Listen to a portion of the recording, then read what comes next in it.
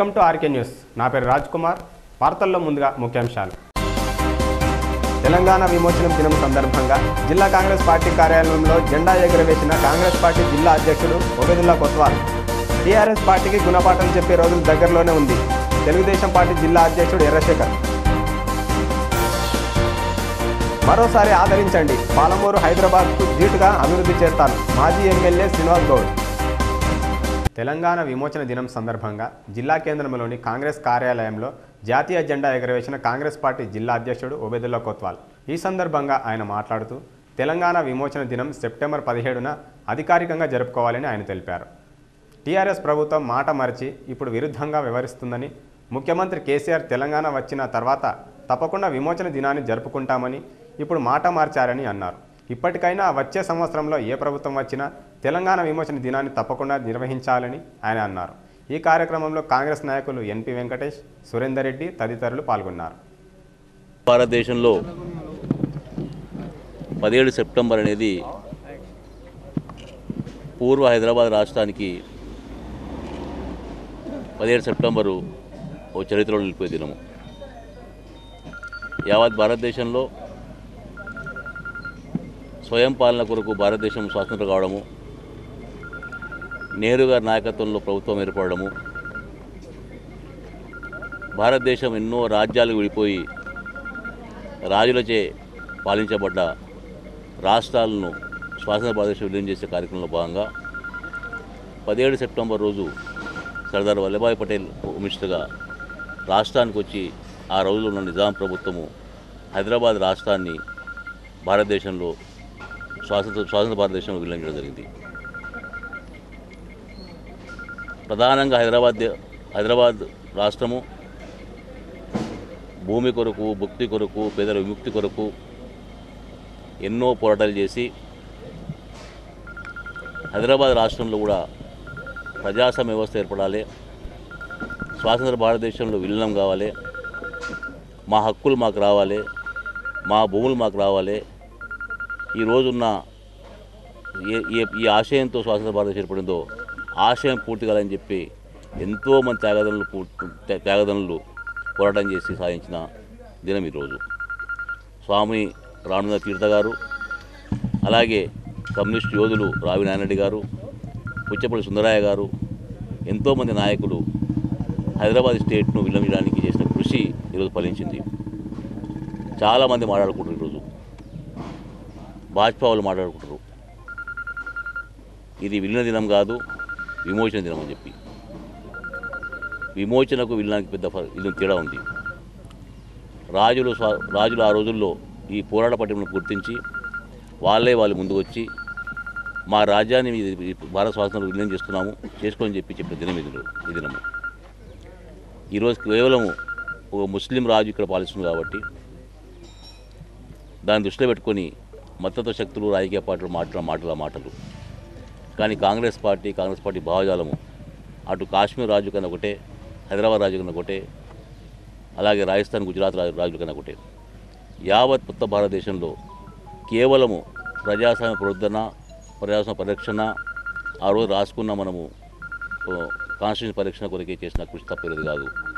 హైదరాబాద్ విలీనం అనేది ఆ రోజుల్లో పెద్ద చరిత్ర సృష్టించిన దినం ఈ రోజు కాబట్టి ఈరోజు కాంగ్రెస్ పార్టీ యావ ఉమ్మడి ఆంధ్రప్రదేశ్ ఉన్నా ఈరోజు తెలంగాణ రాష్ట్రం ఏర్పడినా దాని ఆ దినాన్ని మరవకుండా ఆ త్యాగాలను మరవకుండా స్వయం స్వయం రాష్ట్రం ఏర్పడ్డా కూడా ఈ దినాన్ని నిర్వహించాలని చెప్పి ఒక- ఉద్దేశంతో ఈరోజు నిర్వ- నిర్వహిస్తున్నాము కొన్ని పార్టీలు దాన్ని నిర్వహిస్తలేవు. గతంలో టీఆర్ఎస్ టీఆర్ఎస్ నాయకులు కేసీఆర్ గారు గతంలో తెలంగాణ రాష్ట్రం వస్తే సెవెంటీన్ సెప్టెంబర్ను ఒక హాలిడేగా డిక్లేర్ చేసి ఇది ఒక ఇండిపెండెన్స్ డే డిక్లేర్ చేస్తామని చెప్పి చెప్పిన మాట మీరు మర్చిపోయింది అధికారికంగా. అధికారికంగా మర్చిపోయినరు. ఈరోజు గుల్బర్లో కానీ కర్ణాటక హైదరాబాద్ సంబంధించిన గుల్బర్గా బిదార్ రాయచూర్ ప్రాంతాలకు సంబంధించి మహారాష్ట్రలో నాందేడ్ పర్బని ఔరంగాబాద్ సంబంధించి మహారా అటు అటు మహారాష్ట్ర ప్రభుత్వము కర్ణాటక ప్రభుత్వము వాళ్ళకి ఈరోజు హాలిడే డిక్లేర్ చేసి అధికారికంగా ఈరోజు జరుపుకుంటుండ్రు. సరే ఈరోజు వాళ్ళు జరుపుకున్న జరుపుకున్నా ఆ రోజు కాంగ్రెస్ పార్టీ స్టాండ్ అదే ఈరోజు కాంగ్రెస్ పార్టీ స్టాండ్ అదే కాబట్టి ఈరోజు కాంగ్రెస్ పార్టీ భావజాలం అదే కాబట్టి ఈరోజు ఘనంగా ఈరోజు జరుపుకున్నామని తెలుసుకుంటూ తెలుసుకున్నాను జై హింద్ జై Congress.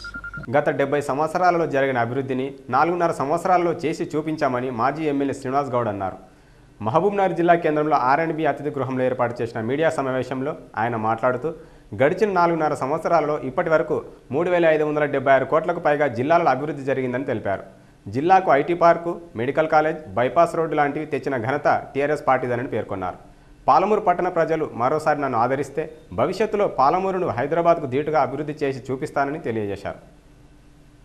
Print and electronic media. మరి ఇక్కడ వచ్చినటువంటి మా పెద్దలందరికీ సంవత్సరాల్లో ఈ మహబూబ్నగర్ ఫ్యూచర్లో ఈ ఊరు ఖాళీ అయిపోతుంది. ఎవరు ఉండరు ఈ ఊర్లో అని చెప్పి తన డెబ్బై ఏళ్ళ అనుభవంతో పెద్దలు ఎన్పి సుబ్బారెడ్డి గారు చాలా సందర్భాల్లో మాట్లాడింది. ఈ ఊళ్ళో చాలామంది పెద్దలు గుర్తు చేసింది. ఎంతోమంది పాలకులు వస్తున్నారు కానీ తాళాన్ని నీళ్ళు చేస్తలేరు వాళ్ళు.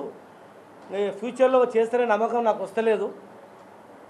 ఈ ఊరు కూడా ఖాళీ అయిపోతుందిగా వేరే ఊళ్ళకి వెళ్ళిపోతారు అనేటువంటి మాటలు విన్నప్పుడు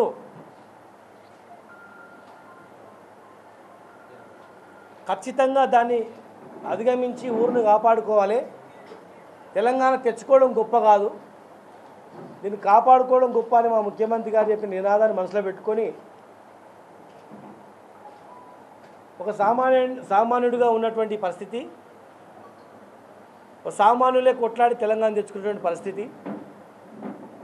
మరి ఈ ఊర్లో ఎలక్షన్లప్పుడు అన్నీ చెప్పడం తర్వాత అందరు వెళ్ళిపోవడం. ఇంకా దాని మీద డీప్గా అంటే కాదు వాళ్ళు కూడా చేయాలని ఆ తప్పని ఉండొచ్చు కానీ ఆ ప్రభుత్వాలు కూడా సహకరించకపోయి ఉండొచ్చు అప్పుడు. చేసుకోవాలనే తపనతో మరి ఈ నాలుగు సంవత్సరాలలో మూడు వేల ఎనిమిది వందల డెబ్బై ఆరు కోట్లు యాక్చువల్ ఇంకా ఎక్కువ ఉంది ఫిగర్ ఇది. ఇంకా తర్వాత కొన్ని తెప్పించుకోవడం జరిగింది. ఇంత అమౌంట్తో ఏ హైదరాబాద్కు ధీటుగా ఈ మహబూబ్నాన్ని డెవలప్ చేసుకోవాలని ప్రజెంట్ చేసింది చేయబోయేది. గతంలో ఎట్లా ఉండే? ఎట్లా ఏ రకంగా చేయాలనేటువంటిది.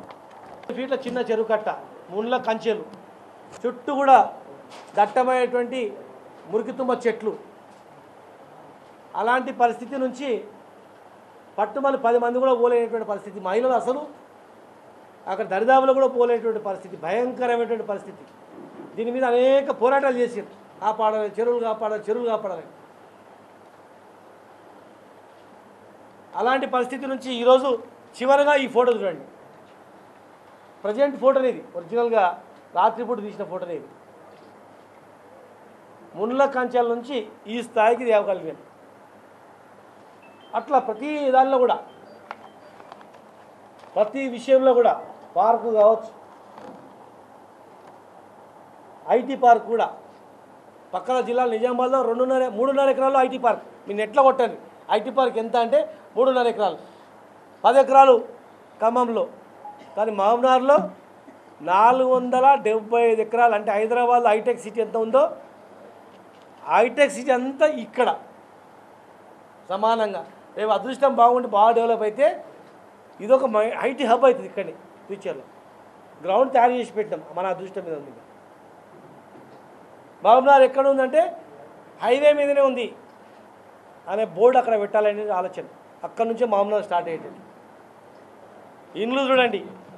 మూడు ప్లేస్లలో మూడు ఫ్లోర్లు కట్టుకునేటంత సామర్థ్యం కదా ఇండిపెండెంట్ ఇండ్లు. మార్కెట్ గోడౌన్లు మనం చూసిన చిన్నప్పటి నుంచి కూడా మీరు పాడబడ్డ గోడౌన్ అండి అది ముప్పై ఏళ్ళ నుంచి బైపాస్ బైపాస్. అది ఈరోజు ఏ పరిస్థితిలో ఉంది? ట్యాంక్ బండ్ చుట్టూ లుమిని పార్క్ లాగా ఓపెన్ ఎయిర్ థియేటర్ దాది శాంక్షన్ మన నెక్లెస్లో ఇరవై నాలుగు కూడా అది శాంక్షన్ అయింది. లేజర్ షో మూడు కోట్లు అది కూడా శాంక్షన్ అయింది. పనులు చేయాల్సింది రాజేంద్ర నగర్ రోడ్ ఎట్లా ఉందో అన్ని రోడ్ రోడ్లు అట్లా చేయాలని ప్లాన్ ఐటీ హబ్ది బిల్డింగ్ కూడా నమూనా వచ్చింది టెండర్ పిలిచేది ఉంది ఈ మెయిన్ బిల్డింగ్ రిమైనింగ్ బిల్డింగ్ మనం కట్టుకోవాలి. ఇది. దాంతోపాటుగా ఇరిగేషన్ కాలువలు కూడా ఒకటి. పిల్లల మరి దగ్గర ఒక కాలువ వస్తుంది. ఇక్కడ డ్యూటీపల్లి మధ్యలో పెద్ద కాలువ టౌన్ చుట్టూ ఆరంలాగా రెండు పెద్ద కాలువలు. అదొక ప్లాన్ రైతు బజార్ ఈ రకంగా వస్తుంది. ప్రజెంట్ రైతు బజార్ చూడు ఎవరైనా రై పోయినామంటే బండి పెట్టుకుని కూడా ప్లేస్ ఉండదు కారు పోనీకెళ్ళే లేదు. ఓ పెద్ద మనుషులు పోయి కూరగాయలు ఇస్తాం పిల్లల్ని తీసుకుపోయి లేదు. ఇవాళ అండర్ గ్రౌండ్లో పార్కింగ్ ఇచ్చినాం దీనిలో. అండర్ గ్రౌండ్ పార్కింగ్ పెద్ద పార్కింగ్ ఇచ్చి పైన రైతు బాగా కడతాం వాకింగ్ ట్రాక్లు ఎక్కడంటే అక్కడ వాకింగ్ ట్రాక్లు యోగా సెంటర్స్ పద్నాలుగు రోజులకు పదిహేను రోజులు నీళ్ళు వచ్చేది మిషన్ భగీరథ రాకముందే నీళ్ళు తీసుకొచ్చినాం. ఇప్పుడు నీళ్ళు వచ్చి ఎక్సెస్ వాటర్ ఉంది. కానీ ట్యాంకులు కట్టలే మన కాంట్రాక్టర్. ట్యాంకులు కడితే డైలీ వాటర్ వచ్చేది నీళ్ళు వచ్చినా అక్కడ ఇబ్బంది అవుతుంది. ఎందుకంటే స్టోరేజ్ కెపాసిటీ లేదు. మండంకొండ కాడ గతంలో పోలీసు వాళ్ళు అడిగితే కూడా ఈ జగ ఎక్కువ ఇలా ఏడు ఎకరాలు వచ్చి ట్యాంక్ కడుతున్నాం అక్కడ. స్కూల్ బిల్డింగ్లు కాలేజ్ బిల్డింగ్లు మసీదులు. జరిగినటువంటి ఒక విషయాలే చెప్పారు వారు. జరగబోయే విషయాల కొరకు వారిని తీసుకురావాలి. దాని కొరకై నేను నరసింహారెడ్డి గారు ఇద్దరం కలిసి మాట్లాడుకున్నా కూడా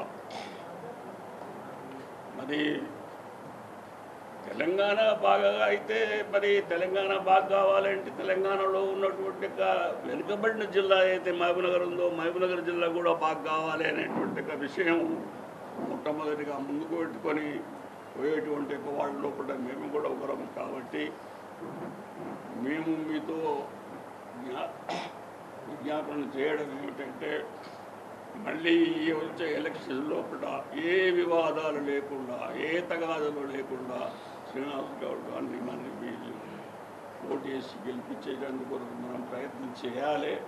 మనమంతా కూడా వర్కర్లంగా తయారయ్యి ముందుకెళ్ళి ఈ ఉద్యమంలో పడ్డ ఈ ఉద్యమం ఇది కూడా ఒక ఉద్యమమే చిన్న ఉద్యమమే అనుకొని మీరు ముందుకు సాగాలని చెప్పి మీతో విజ్ఞాపన చేస్తూ నేను విరమించుకుంటున్నాను. టీఆర్ఎస్ పార్టీకి గుణపాఠం చెప్పే రోజు దగ్గరలో ఉందని జిల్లా తెలుగుదేశం పార్టీ జిల్లా అధ్యక్షులు మాజీ ఎమ్మెల్యే ఎర్రశేఖర్ అన్నారు. తెలంగాణ విమోచన దినం సందర్భంగా తెలుగుదేశం కార్యాలయం ముందు జాతీయ జెండాను ఆయన ఎగరవేశారు. ఈ సందర్భంగా మీడియా సమావేశంలో ఆయన మాట్లాడుతూ టీఆర్ఎస్ ప్రభుత్వం రద్దయిన టీఆర్ఎస్ మాజీ ఎమ్మెల్యేలు మాజీ మంత్రులు అధికారికంగా వెళ్తున్నారని ఆయన అన్నారు. ఆపద్ధర్మ అంటే అర్థం అత్యవసర అయినప్పుడే కానీ మాజీ ఎమ్మెల్యేలు మాజీ మంత్రులు తమకు ఇష్టారాజ్యంగా వ్యవహరిస్తున్నారని వారి వాహనాలకు ఎస్కాట్ వాహనాలను చెప్పుకుంటున్నారని తెలిపారు. ఈ విషయం చీఫ్ సెక్రటరీకి గవర్నర్ దృష్టికి తీసుకెళ్తామని మాజీ ఎమ్మెల్యే ఎర్రశేఖర్ తెలిపారు. ఈ కార్యక్రమంలో తెలుగుదేశం నాయకులు తదితరులు పాల్గొన్నారు. తెలంగాణ విలీన దినోత్సవం ఏదైతే కార్యక్రమం ఉందో ఇది అధికారికంగా నిర్వహించమని గతంలో ఎన్నిసార్లు కూడా ఇది చేసినా కూడా ఇప్పటికి కూడా అధికారికంగా నిర్వహించడానికి ఈ ప్రభు ఈ తెలంగాణ రాష్ట్ర సమితి ఏదైతుందో గతంలో సహకరించలేదు. మరి ఈ టీఆర్ఎస్ పార్టీ అధికారం గురించే ఇన్ని రోజులు పనిచేసింది తప్ప ఈ రాష్ట్రానికి మీరు చేసిన మేలు ఏమీ లేదు అని సందర్భంగా తెలియజేస్తా ఉన్నాం. ముఖ్యంగా ఈ టీఆర్ఎస్ పార్టీ అధికారంలోకి వచ్చి నాలుగున్నర సంవత్సరాలు నాలుగు సంవత్సరాల మూడు నెలలు ఏదైతే పరిపాలన చేసిందో ఈ పరిపాలనలో పూర్తిగా కుటుంబ పాలన సాగింది. అదేవిధంగా మరి మా నిధులు మా నియామకాలు మా నీళ్ళు వస్తాయని చెప్పి మరి నమ్మినటువంటి ప్రజలంతా కూడా అప్పుడు ఓట్లు వేసి గెలిపిస్తే ఈనాడు ఏదైతుందో ఈ ప్రభుత్వం పూర్తిగా ప్రజలను గతంలో టీఆర్ఎస్ పార్టీ మరి ప్రజలంతా కూడా మోసం చేసింది. దానికి గుణపాఠం చెప్పడానికి ప్రజలంతా కూడా సిద్ధంగా ఉన్నారని ఈ సందర్భంగా తెలియజేస్తా ఉన్నాను. ఈనాడు మరి ఈ టీఆర్ఎస్ పార్టీ ఇప్పటికి కూడా మరి ప్రభుత్వంలోనే ఉన్నామనే భావనలో ఉన్నటువంటి పరిస్థితి కనిపిస్తూ ఉంది. ఎందుకంటే ఇవాళ చూస్తే ప్రభుత్వం రద్దయింది. రద్దయినటువంటి ప్రభుత్వంలో ఉన్నటువంటి మాజీ శాసనసభ్యులు అదేవిధంగా మంత్రులు కానీ మరి ఈ ప్రభుత్వం అంతా కూడా ఆపధర్మ ప్రభుత్వంగా ఉండాలి. అంటే అత్యవసర సేవలకు మినహా మిగతా ఏ కార్యక్రమాల్లో అధికారికంగా పాల్గొనాల్సిన పాల్గొనాల్సినటువంటి అవసరం లేదు.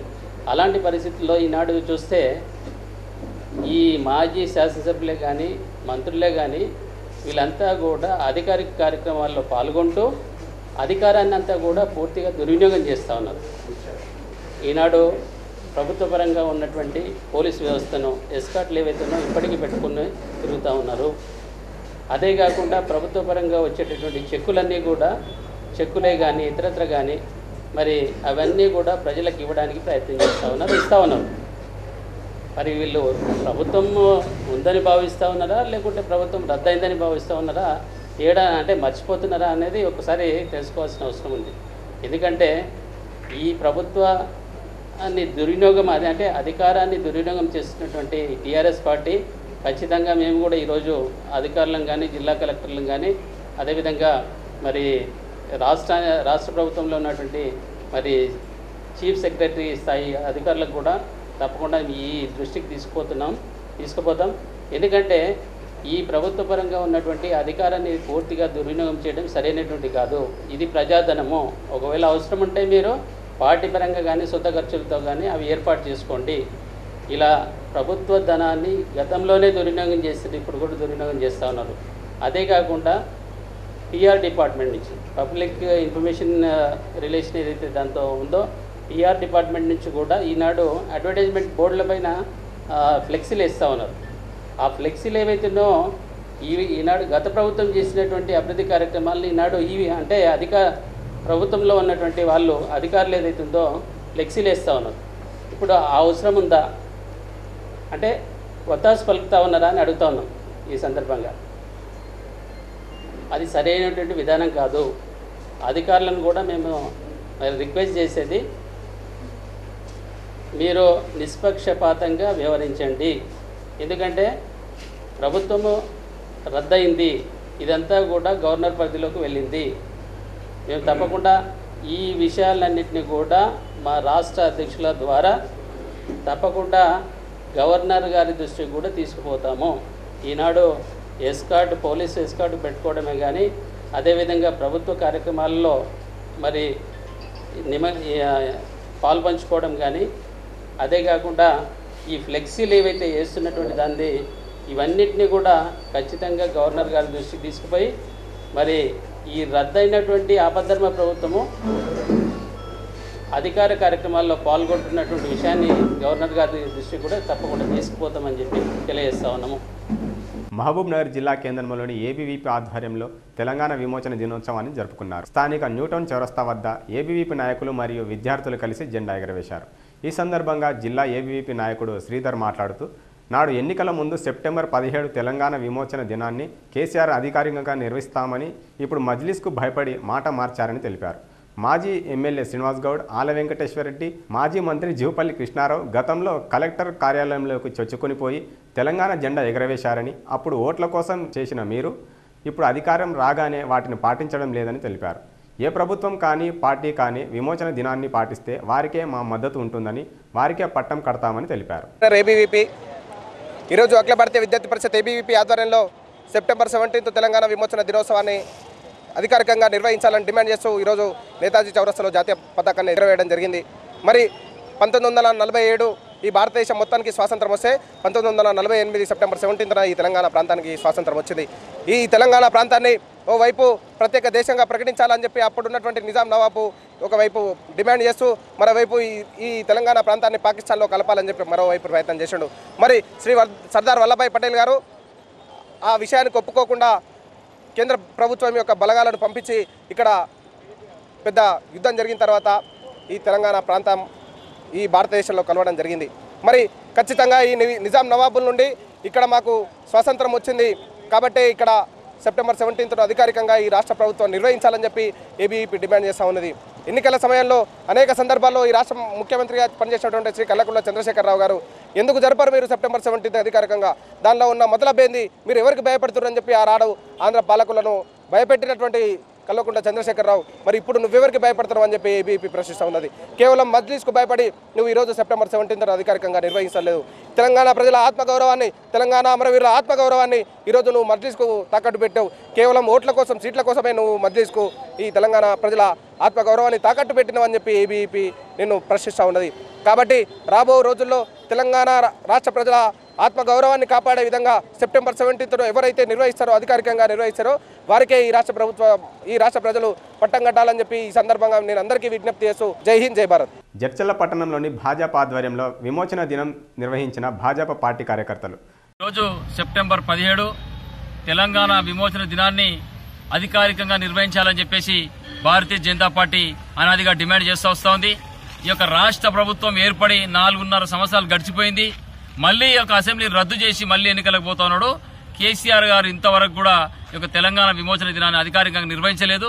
దీన్ని భారతీయ జనతా పార్టీ తీవ్రంగా ఖండిస్తుంది.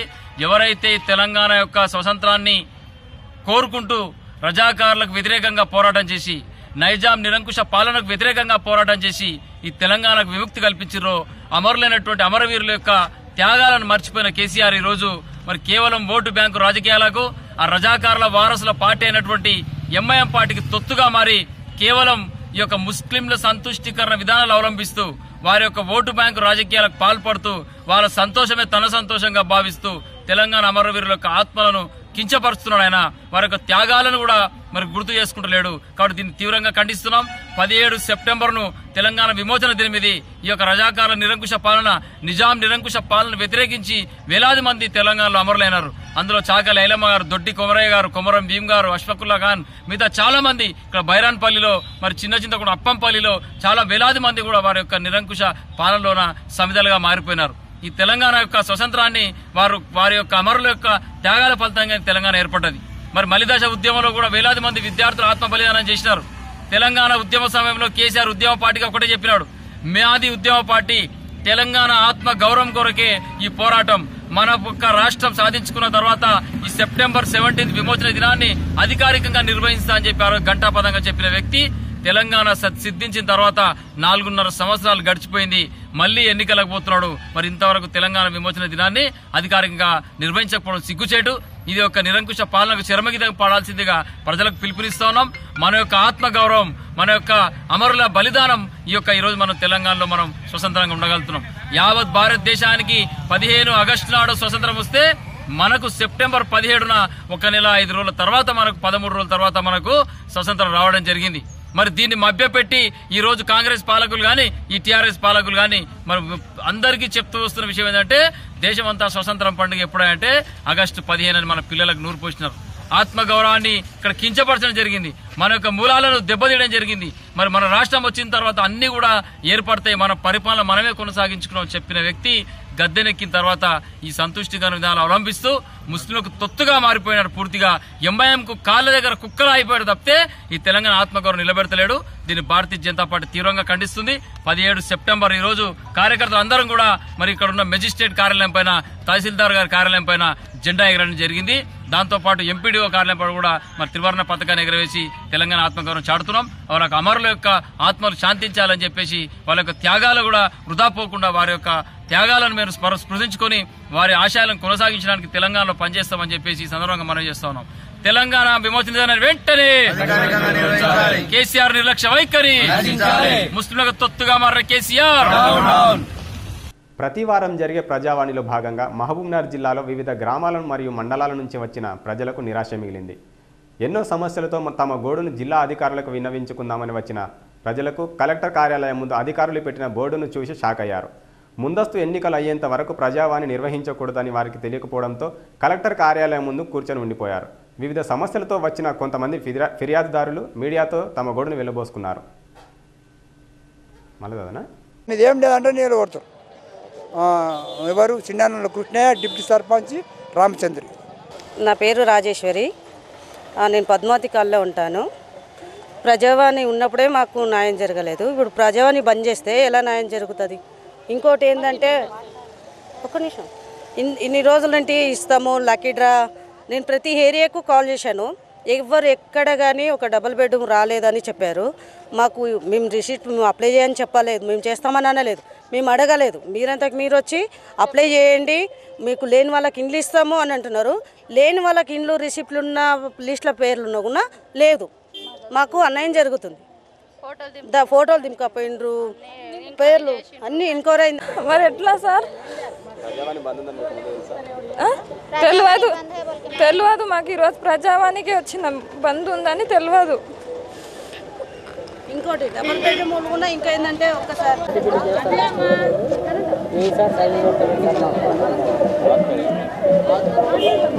నా పేరు చెన్నప్ప. మాది అమ్మాపురం. ఇక్కడ మా పిల్లగాడిని మేస్త్రి కుర్మయ్య అప్పు కిందకి తీసుకొని పోయిండు. అందుకొరకు మా పిల్లగాని కొరకు ఇక్కడ కలెక్టర్ ఆఫీస్ దగ్గరకు వచ్చినాము. వార్తలు ముగించే ముందు ముఖ్యాంశాలు మరోసారి. తెలంగాణ విమోచనం దినం సందర్భంగా జిల్లా కాంగ్రెస్ పార్టీ కార్యాలయంలో జెండా ఎగురవేసిన కాంగ్రెస్ పార్టీ జిల్లా అధ్యక్షుడు ఒబెదుల్లా కొత్వాల్. టీఆర్ఎస్ పార్టీకి గుణపాఠం చెప్పే రోజులు దగ్గరలోనే ఉంది. తెలుగుదేశం పార్టీ జిల్లా అధ్యక్షుడు ఎర్రశేఖర్. మరోసారి ఆదరించండి. పాలమూరు హైదరాబాద్కు ధీటుగా అభివృద్ధి చేస్తాను. మాజీ ఎమ్మెల్యే శ్రీనివాస్ గౌడ్. ఇవి వాటి వార్తలు. చూస్తూనే ఉండండి. RK TV. ప్రతిదృశ్యం ప్రజాపక్షం.